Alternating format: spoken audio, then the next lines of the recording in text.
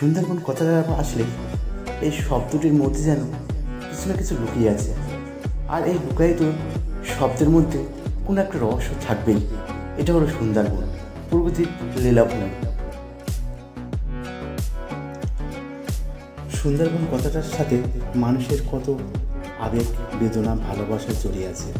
আজ এমন একটা চিত্র তুলে ধরব যেটা ভাবার বিষয়।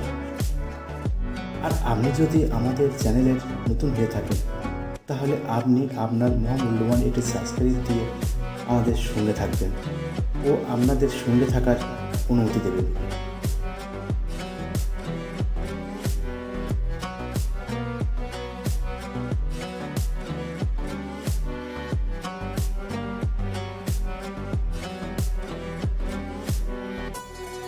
সুন্দরবন মানে শুধু বাঘ কুমিরের নয় এখানে বসবাস করে কয়েক লক্ষ মানুষ।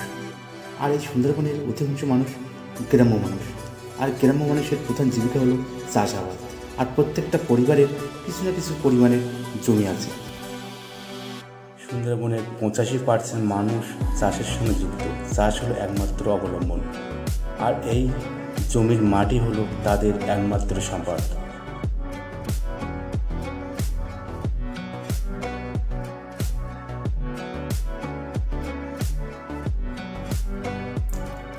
মানুষ জীবিকার জন্য আজ কত মেহনত না করতে হয় সেটা আমাদের সামনে তুলে ধরার চেষ্টা করলাম।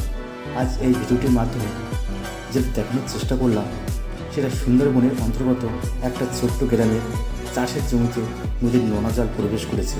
আর সেখানে ছোটো ট্যাংরাপোনা ধরার জন্য ভোর চারটা থেকে শত শত মানুষের ছোটো ছোটো বেরি জাল নিয়ে ট্যাংরাপোনা ধরছে। আমরা শুনলাম, এই করে কেমন ইনকাম হয়?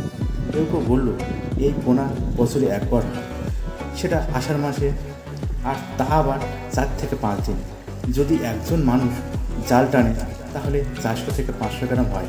আর বাড়িতে যদি তিন থেকে চারজন একসঙ্গে টানে, তাহলে দু থেকে তিন কেজি পাওয়া যায়। সেটা আবার সাত থেকে আট ঘণ্টা জাল টানার পর।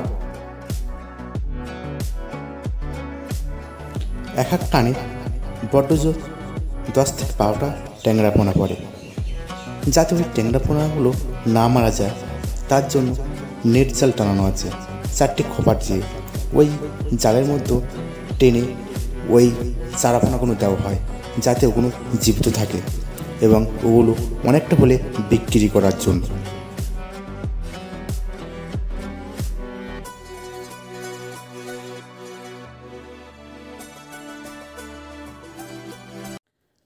প্রতি কেজি এগারোশো টাকা থেকে বারোশো টাকার বিক্রি হয়। তাই চাষবাস না হলেও এই চার পাঁচ দিন বাড়ির সমস্ত সদস্য পোনা ধরতে ব্যস্ত থাকে। কিছু যদি আয় হয়।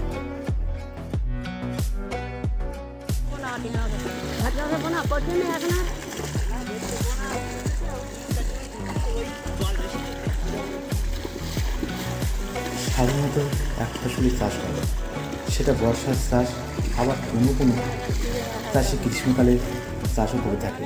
সেটা সেচ ব্যবস্থার মাধ্যমে বর্ষার সময় গ্রামের মানুষের চাষ করে তাদের সারা বছরের খোরাকি বা খাবার ধান সংগ্রহ করে রাখে। কিন্তু কোথাও কোথাও সুন্দরবনের অঞ্চলে ছোটো ছোটো নদীর পাশে যে বাঁধ আছে, বাঁধের পাশে যে জমিগুলি আছে, সেগুলি নদীর নোনা জল প্রবেশ করে। আর নোনা জল প্রবেশ করলে চাষবাস বেহাল করে দেয়। অনেকে বলবে চারাপোনাগুলি ধরাটা অন্যায়। কিন্তু একদিক থেকে ভেবে দেখলে এই চারাপোনাগুলি যারা ধরে, তাদের অনেক অর্থনৈতিক সাশ্রয় হয়। যাদের জমিতে চাষ হয় না, তাদের এর থেকে কিছু উপার্জন।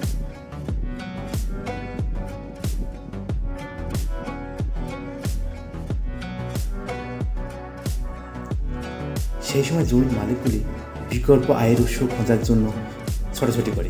কেউ কেউ কাঁকড়া মাছ ধরে বা চাষ করে, আবার কেউ কেউ অন্য রাজ্যে কাজের সন্ধানে বেরিয়ে পড়ে।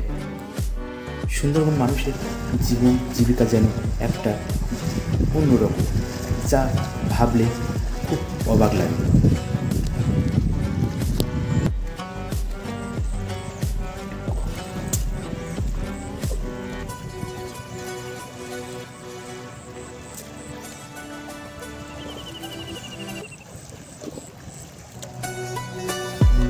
সুন্দরবনের পঁচাশি পার্সেন্ট মানুষ চাষের সঙ্গে যুক্ত।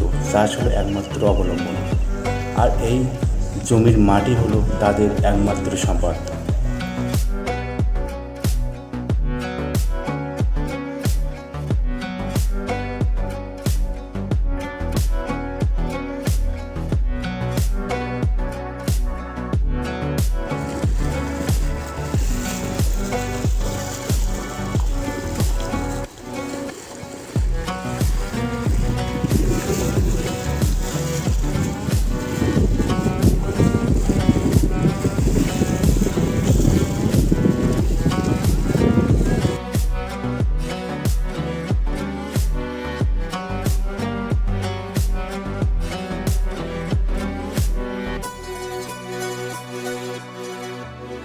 কাছে আমরা যখন কিছু হারিয়ে ফেলি, তার প্রতিস্বরূপ কিছু না কিছু ফিরে পাই।